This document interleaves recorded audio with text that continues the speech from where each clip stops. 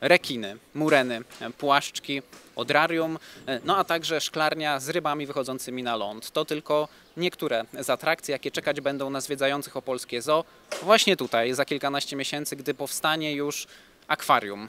To największa w historii opolskiego zoo inwestycja.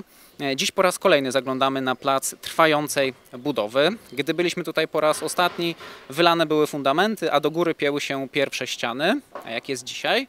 Ano, ściany na poziomie minus jeden już stoją. Tu w piwnicy znajdą się, znajdzie się cała infrastruktura techniczna.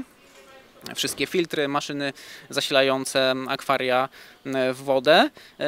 Prace idą cały czas pełną parą, postępują. Inwestycja warta 25 milionów złotych, a wszystko po to, by zwiedzający, zarówno ci młodsi, jak i starsi, mogli cieszyć się nie lada atrakcją.